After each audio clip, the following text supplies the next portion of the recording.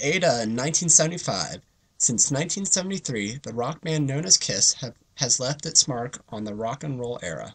The band consisted of four original members Paul Stanley, Gene Simmons, Ace Frehley, and Peter Criss. By the mid 70s, the band had begun their rise to fame not only with their music, but also their outrageous and over the top concert performances. Uh, Ace Frehley shot lasers out of his guitar.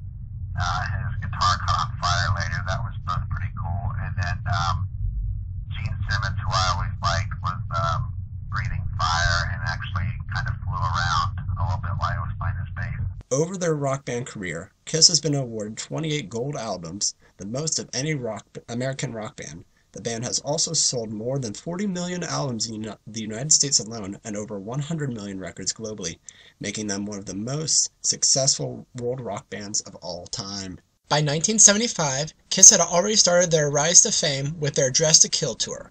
One of the stops on the tour was at Ohio Northern University. This was a monumental concert as it was the first concert to be held at the recently established Kinghorn. The concert attracted both college students and locals alike. The concert attracted people from all over the region, some from as far away as Wauseon, Ohio, a nearly two-hour drive north of Ada. 16-year-old Ben Eicher and his friends had seen Kiss open for the James Gang a few weeks earlier in Toledo. We just completely were blown away on March 28, and so we were eager for them to come back. So the way we found out about it was we went to Toledo to buy the new album because we knew that was coming out because the magazine said so. And you know, it's like, hey, there's a con, they're coming in concert down in Ada on uh, the 9th of, of May. So we buy the album, and it was just a, so we had to buy the tickets then too. Got the tickets. In his journal, Ben records that he and his friends bought their tickets on May 5, 1975, the day that South Korea surrendered to North Korea.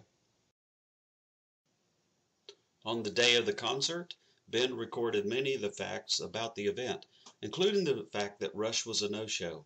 He also wrote songs played and Kiss's special effects. I later found out, to my great surprise, that it was in Ada that Kiss first was the first time they ever played rock and roll all night and party every day. A lot of people who probably, uh, it almost seemed like myself being the first concert I ever went to in my entire life as being very high strung and a lot of screaming and yelling and carrying on and you know, a lot of college students. The main doors out by the flagpole off the parking lot was where the main door was, and they were actually checking for alcohol and stuff at that door, but I just don't remember that being the case at the back door, and I think they weren't prepared for that. You know, the, the whole draw of the concert was come to see these face painted rock and roll group, you know, that had really sprung up within the last couple years, and and I think that was probably why we went. But when we got there, I think a lot of the focus was on the crowd, what the crowd was doing, how the crowd crowd was reacting around us. Uh, I do remember that you know most of the time during the concert we were standing. Uh, there was just no way to sit down because everybody was just doing a lot of screaming, a lot of singing, and you know, especially when Kiss came out and did their pyrotechnics, and there was just a lot of pandemonium going on. They had two big torches on each corner of the stage, and when they were rocking, it would blow the flames up, and they actually went clear to the ceiling and scorched the ceiling black. The pyrotechnics that they did uh, on stage caused several thousands of dollars worth of damage to the building, and it was a lot of years, I think, before the uh, the university was willing to come back with another concert. Uh, after the concert, I heard rumors that the sheriff at the time had come into the concert and tried to to uh, confront some people, and he ended up having a beer bottle thrown up against his head. After the concert, according to Peter Criss's autobiography, the student council didn't have enough money for them to have a hotel, so they ended up staying in the dorms. The drummer reports it was one of the most memorable experiences at Ada as he stayed with two crazy science majors who had made their own LSD. They offered him some, but he declined, and instead they opted to smoking pot all night. It was definitely an experience of a lifetime, to be honest with you. Being Kiss and being here in Ada, you know, people just look and say, God, they were actually here. I said, yeah, they were here. To this day, Kiss's legacy continues to grow throughout the world, acquiring fans from its every corner. The unparalleled devotion and loyalty of the Kiss Army is a statement to the band's unbreakable bond with its I think, fans.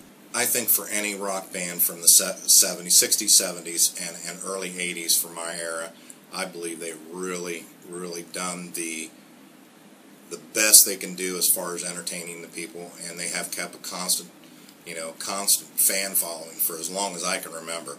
I just don't think that this campus will ever see another concert like that ever.